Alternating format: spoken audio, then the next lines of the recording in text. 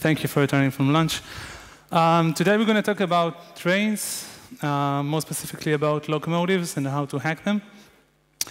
Uh, usually when we talk about hacking, hacking trains, we are using uh, railroad situations, so signals and switches, but today it's different. And the context for this talk is a derailment case that happened in the US during last May, and, or actually one year ago, uh, last May May 2015, which a uh, derailment causes uh, eight people to lose their lives.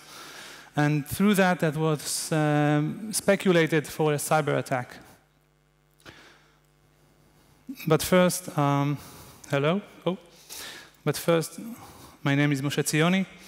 Um, I'm working at Verint at uh, sec security research management and uh, researching security for at least 10 years or more.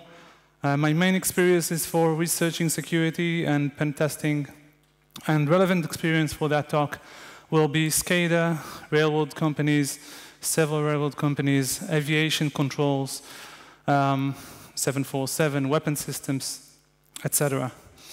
Um, we're going to talk about locomotives, and, but first we're going to talk about the derailment case itself. I don't want to make, to make the case uh, itself the point in this uh, talk. I want to talk about the locomotives in general and, and, how to attack them, but not about the case. I'm, i will be returning to case for context and see what exactly could have happened or what Amtrak, the company, the railroad company that was in charge of this train, could have done better. So when we are talking, before we talk, I, I should bore you with this slide. I'm not in any case related to Amtrak or Siemens I'm not trying to insult them. I'm not a rail accident expert, and I'm not, I'm not willing to be. Uh, and um, most, most importantly, I'm not implying that whatever I say as speculation is true. What, I'm, what, what I am going to focus on is locomotives in general, and such locomotives as in the accident. so this is a picture from a derailment case. Uh, it was horrible, actually. Um, there is a, the, the train went from Boston to Washington and went through its normal route. It's the Northeast Regional 188. Uh, it was May, everything was perfect. The engineer of the train was just weeks into his job, but very dedicated man, so they say. And all of a sudden, 60 seconds before this derailment, uh, the train began to speed up and then to overspeed up to 107 miles per hour. For us, it's 170 kilometers per, per hour, uh, which is actually huge in comparison to the curve that it went on. The curve maximum or limit was supposed to be 50 miles per hour.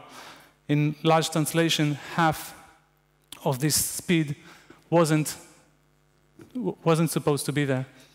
So as I said, eight men and women uh, lost their lives during this derailment, unfortunately, and most of the passengers got injured. More than 200 total passengers on this train is 238. You can see the engine and the uh, actual locomotive at the other, at the lower left corner of this picture. Afterwards, you see a rubble. This rubble is the, the business section of the train, and then you see the diner quiet car, and then the Amfleet, rest of the uh, coach cars for Amfleet. So there was much speculation, or little speculation about cyber attack, but many discussed it within this community and afterwards. Uh, the media covered it not a lot, and because there is, there is no much evidence about it.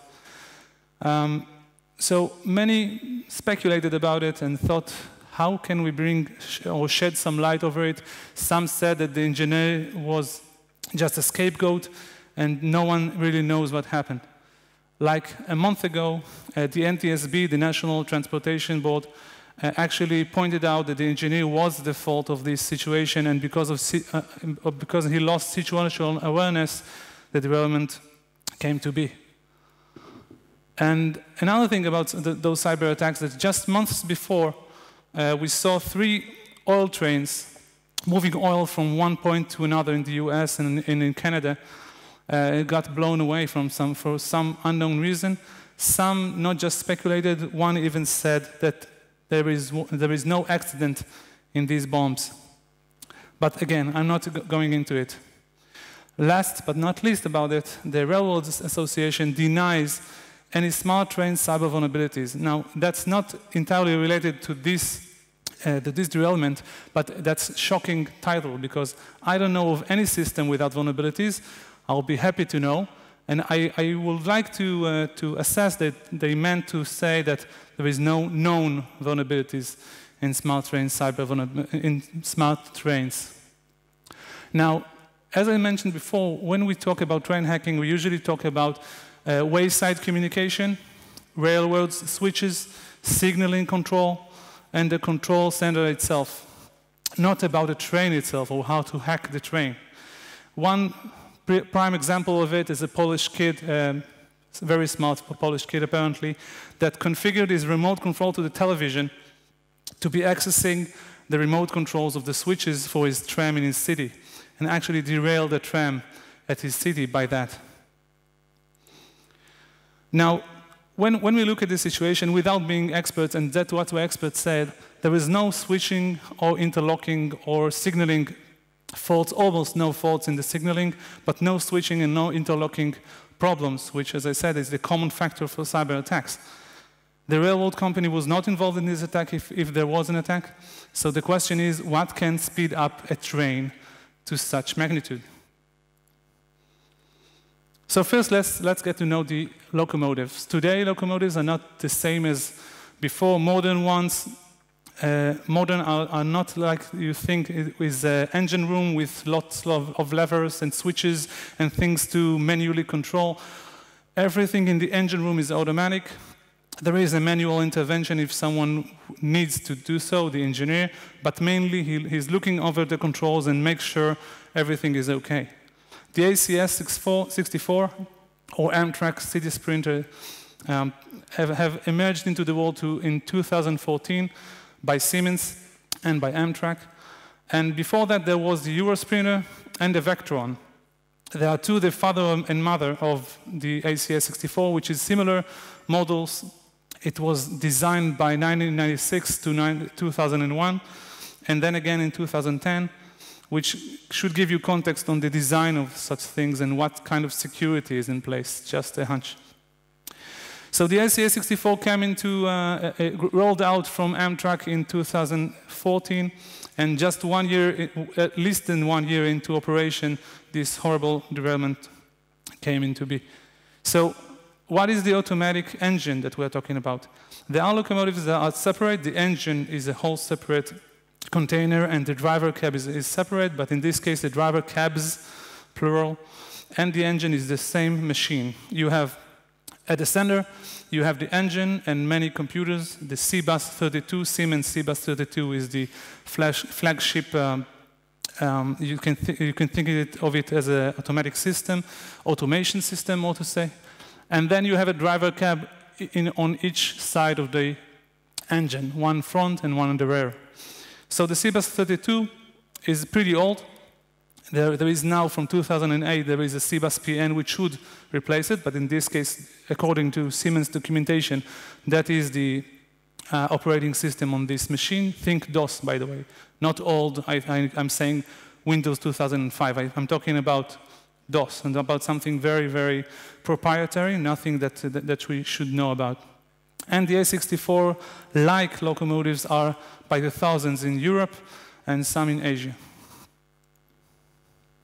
So what's inside? We have, at the middle, you can see the CCU, which is the most important part now. The central control unit is a unit that, that is modular. You have your, um, your kind of um, interfaces to the world. We will talk about communication in a second. Your interfaces, your, computa your computational modules. You have other modules that, that lets you operate under some stuff which, with these extreme conditions. We are talking humidity, you're talking about um, maybe weather, uh, which is extreme. And in this case, these modular components comprise the CCU. You have another thing that is called TCU at the bottom, that the traction control unit, which means that traction itself and the there is this thing called dynamic braking, but we're not, we are not going into that. So the traction control unit is, is a unit that operates the, uh, the underneath traction of the system and actually pulls, pulls up the, uh, the entire uh, M fleet. M fleet, in, in the case of Amtrak, which you can see the, one of the cars there, are not operated. There are locomotives that are just pulling, and there are locomotives that are making the whole train go, and the cars themselves have some, some power on, them, on themselves. The M fleet track is not like that. So you have the TCU, and you have the console, a driver's cab. As I said, there is another console, but it's not used, not, mainly not used by the operator. So you have the console. We have some, some other different components that I won't go into it right now, just not to be so confusing. I guess you are, so, you are already confused by that. And one other thing I want to mention is the air braking. We have several systems on each locomotive, not, not just like this, and on, on each train to to get some kind of braking, there are several different methods of braking, and one prominent one is the air one. It's a pneumatic braking that is the equivalent of a handbrake in the machine, just using by air force. You are pulling a lever in this case, and pipes go throughout the train and put pressure on the wheels, and that's way, that way you get pressure and brakes uh, analogically, not, digi not digitally, and that's important. So this is how the driver cab look like. You have the air braking that I just mentioned, the red lever. You have side views, so you can view your sides with, uh, with cameras. You have signaling systems, which can give the uh, driver um, some, some support on his driving. And you have the screens, which is the main interest for the driver to look at. You have a throttle that make, make the, uh, the train goes, uh, go up in speed and down in speed. And of course, you have something very weird here, which is a, a, just a board covering up a hole in this case, but it's supposed to be a Motorola radio uh, to, to, be used by train drivers. So, so far we, uh, we said a, a, bit about those uh, machines, and what we want to talk about now is how do, do they communicate.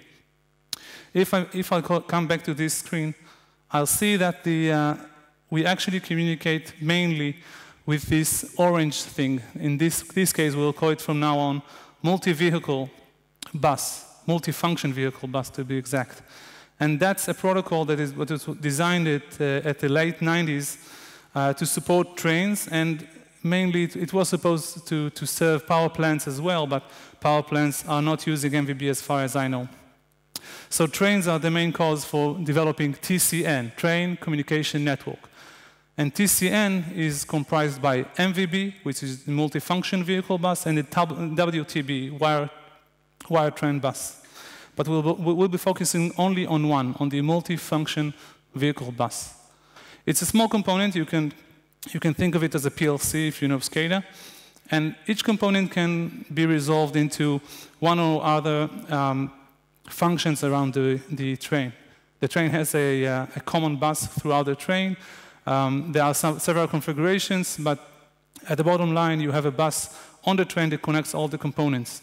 The bus is very important because the, the, the systems need to be talking in real time, and that's really support this notion. So it was operated as a single master, many slaves system.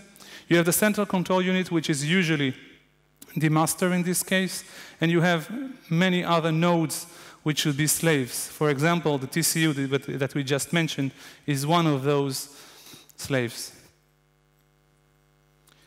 What kind of components do can you can um, connect to it? You can con connect to it traction, brakes, not air brakes, seat reservation, air conditioning sometimes, not all, all the time, uh, door control, which is most basic for it, information display for passengers, and sometimes even a PA.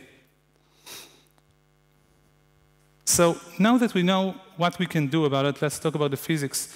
We have several connectors for it. By definition, the actual paper by IEC 61375 is displaying several ways to connect to it physically.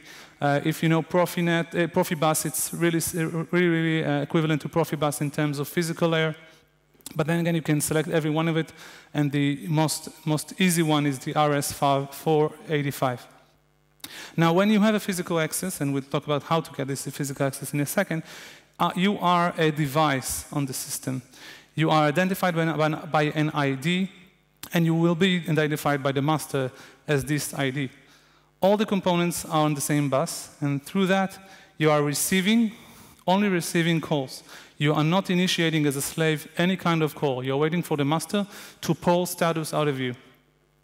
You can select several statuses, there are functions. He requests or pulls a request, and then you come back with an answer. This answer can propagate throughout many components on the train and can be considered as something that, that they can use. For example, as you can see on the screen, if the master is polling, is just kind of orchestrating, is not doing any decisions right now, but the, the master should poll, for example, the throttle. The throttle says now increase speed, and this answer is read on the bus or off the bus uh, by the traction control unit. And then it knows how to generate speed. Now, that's the diagram. The master diagram is comprised by a delimiter, now a function, function code, an address for the node that you want to ask or to poll, and then a checksum. The slave is pretty much the same without the function code. It just starting a delimiter, so you know that a slave. He starts with a data. It can be any, any kind of alignment that you see here, and then a checksum. Now, when you look at it, what are we missing? Pretty much everything, right? We're not using any kind of security on this level. We're using only the addresses that should be answering the master on his poll, and the data that is sent is plain text. Now, I'm not hiding anything, and I'm just saying my, to myself, these are the function codes. Just our reaction to that is, what is it? What are you talking about? That can't be true. So I'm sorry to say, it is. There are some compromises and there are some advances in this field, and MVB has grown into something a bit a bit uh, less dangerous, but still dangerous because that's the datagram at the end. There are Ethernet connections nowadays, or more, more accurate to say industrial Ethernet, which is uh, a different kind of connector cabling, but it's the same on the link layer level. And, but you are not figuring out how to overcome the MVB faults.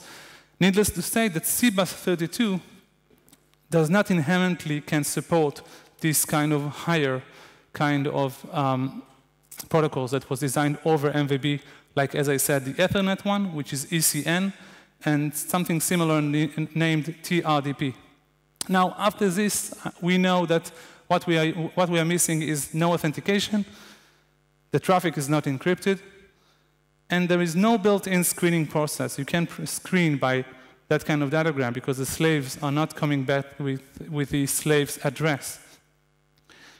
So that's a bit scary. But first, I, will, I, I am going to scare you more than that, rest assured. But first of all, we need to discuss the master and the saying single master. All the documentation says single master all the time, which is pretty confusing because A, we know that's not actually a master. It not, doesn't master anything. It's just orchestrating the orchestra. And second, that's not true. You can have more than one master, but I'll get to it right now. How can we? And why it's important. If we know that it's so damaged from the beginning, what's the, what's the uh, why, why should we take extra measures into this attack? So according to our research on several companies, in, in this case, we had some, some very large problems on just injecting, injecting these datagrams into the network. These datagrams couldn't be just injected into the network because the master that was orchestrating the whole thing have an internal clock, let's say, which is, which is called a period, a basic period. In this basic period, you know how to ask the known devices. What is, what is wrong with you? What do you need? Please, please make an event, etc., etc. But in all this mess, we couldn't actually send something and be sure or determin deterministically sure that something will come up right. So we needed to, to overcome this. And the way we did it is just reading English. That's the power. They have a version in French, in, but I don't know French. as you may know. So this is the paragraph that I want to stand on, because this paragraph encompasses two weaknesses that combines into one vulnerability, or one privilege escalation, if you will. The first one is the marked, marked one. The master always scans the network or the bus to see which devices are there and to see what is redundant right now. If a device doesn't answer, it tries again and, and, and tries another time because all the, the, all the thing with real-time situations or real-time operating systems, that something can, can, go wrong and then you, you shouldn't lose hope. You're always asking. And what's better than that is always asking also on the unknowns. He's scanning the whole range all the time. It's basically an Nmap on the bus that actually all the time listing all devices and adds it into its known device list. The second thing is that it's called a bus administrator. A bus administrator, there are several classes of nodes. There is the basic node, and you have like six classes which differentiate in functions, and one, one or two of the, of the functions are the bus administrator function. The bus administrator is, is special, very special, because what you see right now. Let's say you are a master. And remember that I said there is no one master, there is many. Or to be more exact, there is one master in a given time. And why is that? Because it needs to be redundant. He can't rely on putting all the eggs in one basket. He needs to be reliant on other systems like the bus administrator and to cycle through the token of mastership. So we, we want this mastership, right? We want to be masters on the system just for a little time. Now, let's say we are a node or a malicious node like, like we see in the picture. Now we just listen on the bus and enumerate devices. We have a list of devices on our node, which bus administrators should do in, in any case, but let's say we are entirely malicious from the ground up. And then we are selecting one of the IDs which is vacant, which is unoccupied. Now we select this ID, in this case I selected a very special ID, and then we, we're just waiting for the master to ask the unknown device if it's there. And then we are, we are answering for his call, yes, we are here, but with one different bit. The bit is called BA, or bus administrator, which should be set to one in the response. Now the master knows that we have this ability of bus administrator, and when we have this bus administrator, it lists us under the bus administrator list, and when the time comes, every so given minutes, it will transfer to us the control, expecting us to behave like a master and then transfer the mastership over. Now, now we are on his list. So we, we wait a bit longer, and then from time to time we will ask, are you free? Are you, are you idle? Are you okay? Are you not DOSed in any way, denial of service for any, for any reason? And if we are answering okay, he will accept it and send us the mastership and now we are masters for a given time. The time is 2024 milliseconds times something up to 2056. Now, that's by definition. We can try to hold the mastership for a little longer, but, but the definition said that the master, or the original master, which is the real master in, in this case, which take over because it thinks that something went wrong, or the now actual a master machine or bus administrator machine have gone wild and let's say he showed a fuse or something and he's not responding. So he'll take over the token mastership and then he will be the master again. So we can withstand uh, several minutes, up to several minutes with this kind of attack over the system. One variant of this attack is a Sybil attack under this system. There can be two, 2,055 bus administrators on a bus. So if we are in the same node explo exploiting this behavior and actually using several IDs and then giving, giving us much more time to control the system without sharing it with anyone else, or at least for a short time. Now that we can see the attack itself, what can we do, what can we do about it? Or with it, sorry. What can we do with it? Basically anything. It depends on our knowledge, on how, how familiar we are with the controls and what kind of expectation will be for the controls. We can orchestrate the controls all over again. We can behave as a master as we will, but in time we'll know the, the exact locations where to put it and where to put a rest condition. For example, if we are throwing to the throttle a request and then after we are just initiating the datagram itself from the slave saying increase speed, it can increase speed. So what are the vectors for this attack? We are talking mainly about domain, the physical domain vector. We can think of the electrical box, which is seated under any M-Fleet car, or in this case, M-Fleet 1 cars. Or on each end, you have one end the toilets, and the other end you have an electrical box, which contains many of this operation. You can trim down the lines of, of electronics and then see where kind of uh, lighting or reservation you get, and then maybe, just maybe, connect it. And you have several more. The supply chain itself can be harmed because 70 companies or facturers were, were in fact in this process. And last but not least, there is tour guides into the ACS64, which you can actually open up the A64 driver cab and see the whole inside and go to the engine room and touch everything. It's, it's a blast for kids and for hackers. So, so far with, with the physical domain, now we are coming back to Amtrak. Now, I'm, now we should ask ourselves, is there a place where Amtrak can diagnose such an attack? So that's a memo. I'm sorry that it's small. I'll read part of it. Um, that's a memo for Amtrak. It's called Notice Number 70. It was circulated around transporters, around the internet, and got up to the media in some, in some point. The media didn't release this paper, so I'm putting it right now. Um, so the paper says basically that one month after the attack, some engineers, be, before that or um, amongst that, in any case, one month after the attack, the notice was taking place, that some engineers complained about the devices of the ACS64, the driver's seat, the screens froze. Now, that can be nothing, of course. And the, the suggestion here is just go to the breaker room, which is situated uh, uh um, after, um, just at the back of the driver, just pull down the, the, brake, the breaker and then pull it up, and then the screen will be all right. And the suggestion into detecting that it's, that it's true, the screens froze, is to look at the seconds the, on the screens and see if the seconds doesn't roll up.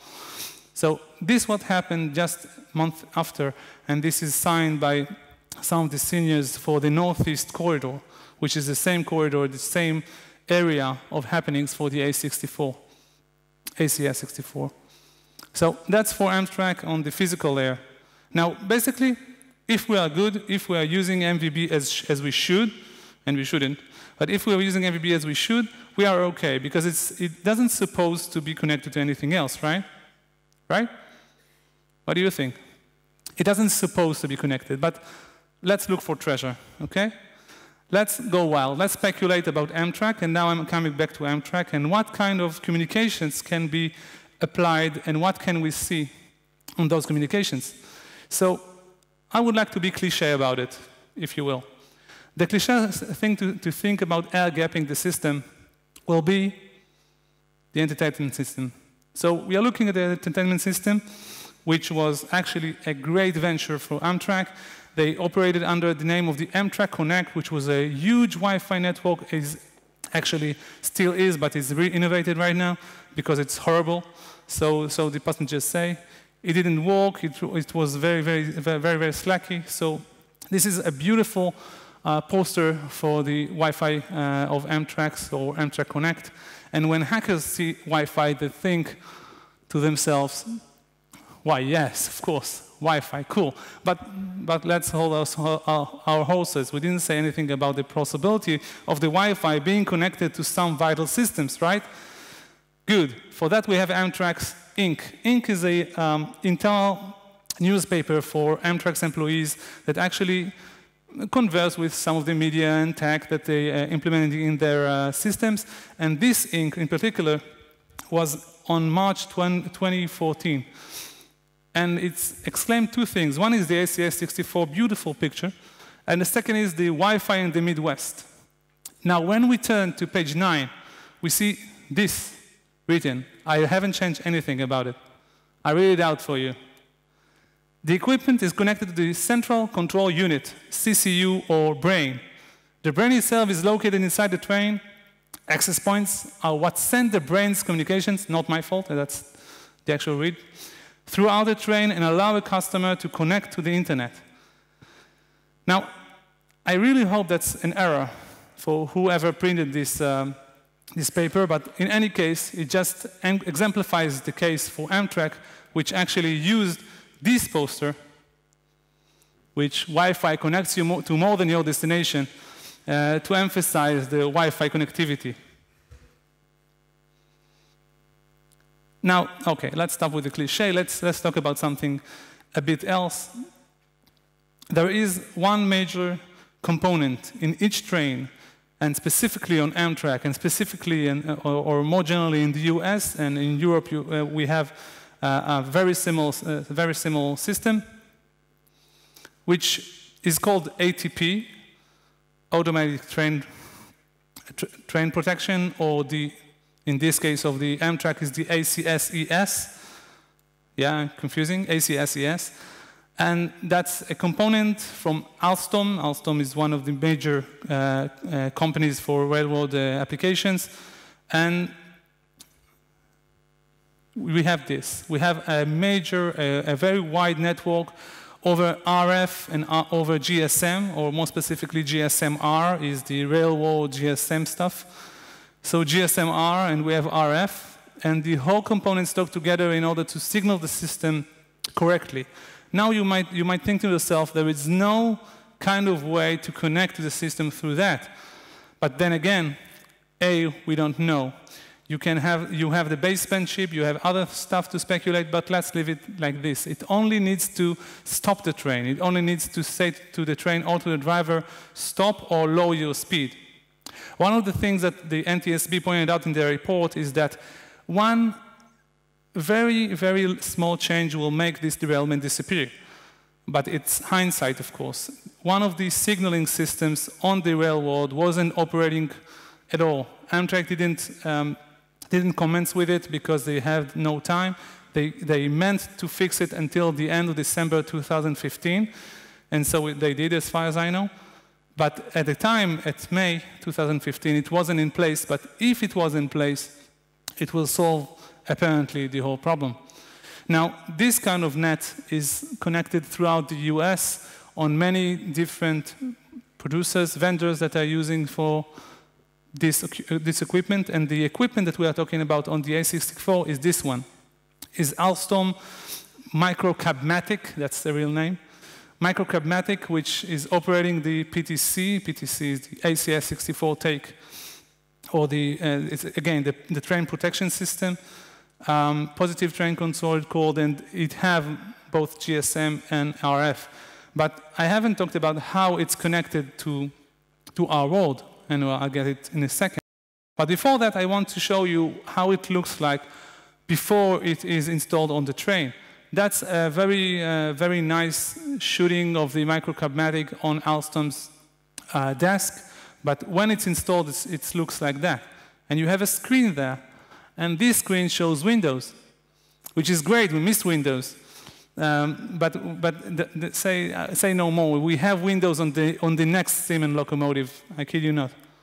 So that's the situation. And, and until, the, uh, until now, it's not great, but it's not so, so bad. But now we are referring to the PTC's success.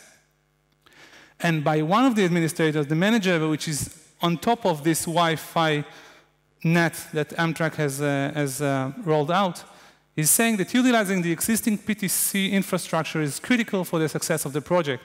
They actually used PTC's infrastructure to connect to the internet, meaning that the Wi-Fi on the train connects in some way to the PTC.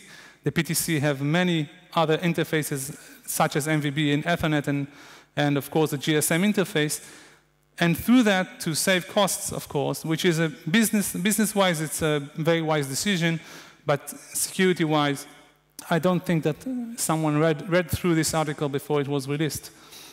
So Amtrak is very excited with, with, about the possibilities that this could offer, and not only Amtrak.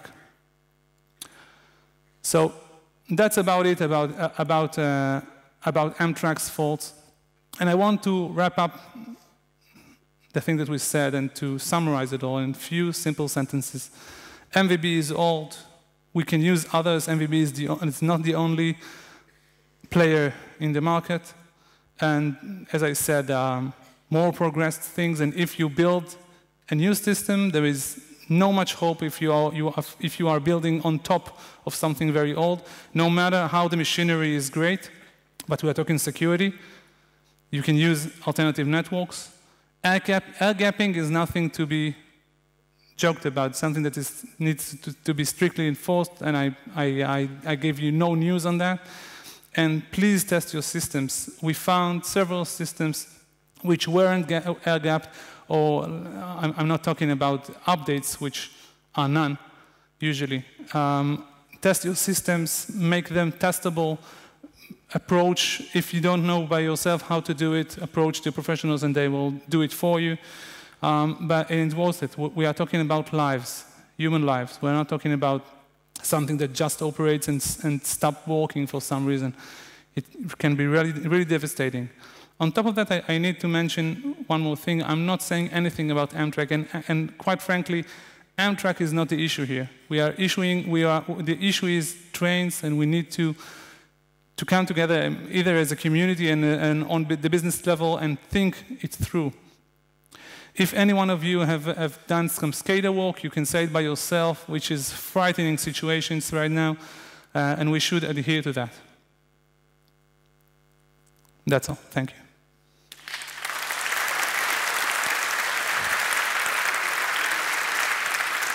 Any questions?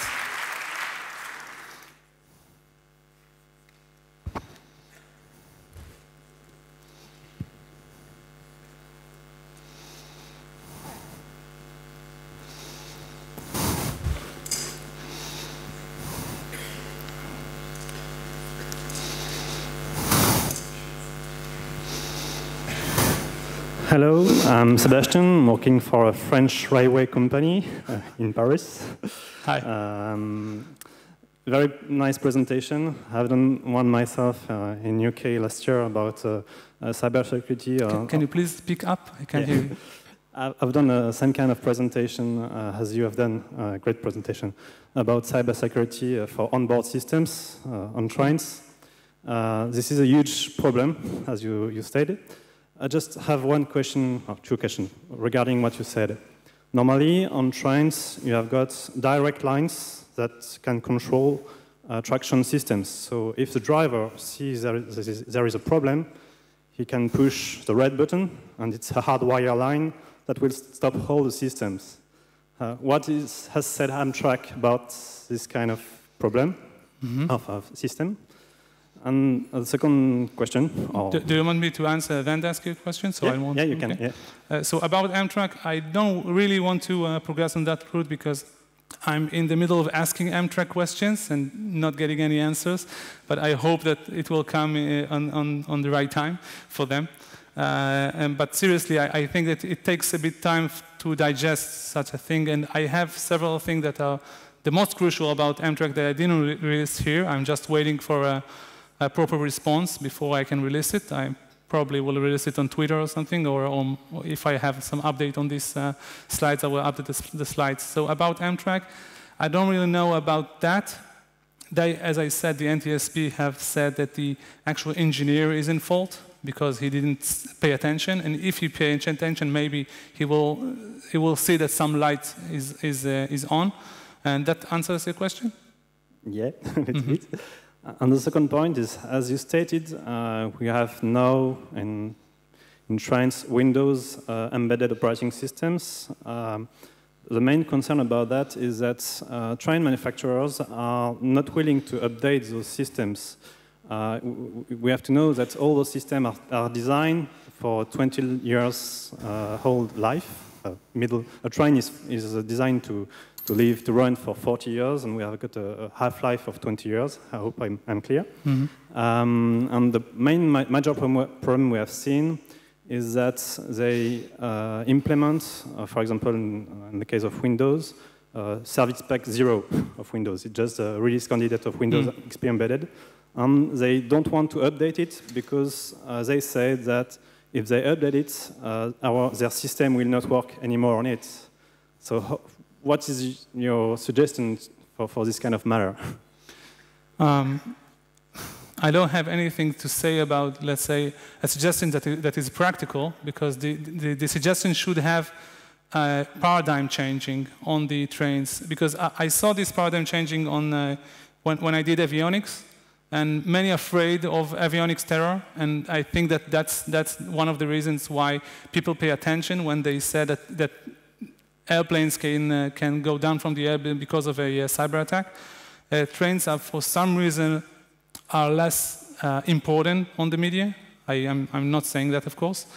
Uh, and I think that one of the changes that I saw is moving, no matter what, to uh, new systems. New. New in case of something completely groundbreaking. I'm, I'm talking about disks that, that they needed to operate on one of the planes that we were managing. And then these floppy disks were changing by GSM over the air, and now they need to update the system one on, uh, once on the ground and once on the air, even if there is such a critical change. Hopefully not.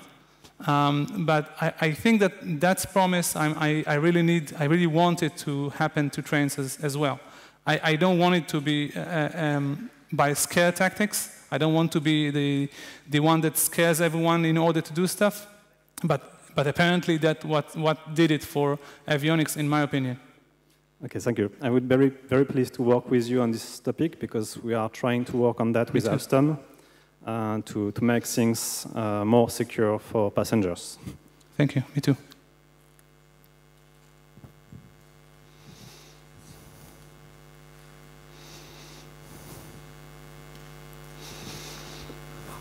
I'll keep this very brief because I think you touched on it a little, but um, building on what Jason was talking about in the last talk, do you have any lessons, uh, piece of advice on how to engage with industries after you make a discovery like this? The things to do and the things not to do, perhaps? Just so for future people doing the same. Hmm. That's a very good, good question that I'm asking myself, actually. And I found um, two major lines of contact. One is the line, uh, when, when we are talking with engineers, they understand the risk while, while we are explaining it to, him, to them. But when we are talking with management, they, they happen not to realize the, the risk as a, as a whole unless they come from computing or anything engineer style. So I'll say if you have um, uh, some kind of a CISO uh, equivalent on the train, uh, which, which happen to be with an engineer background or computer science background and, and can comprehend the risk on that level because, because it's, it, can, it can be something of a deadlock when we are talking about with management. But if you can uh, enlist an engineer to your lines before talking to management, that would be great. Someone from the inside that can affect the system and can, can know how to figure, figure things out in the inside.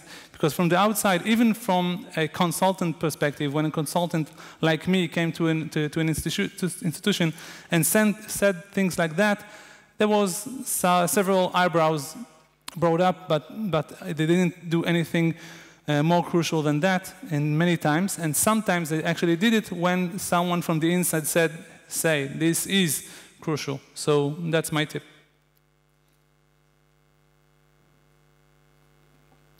Okay, thank you very much.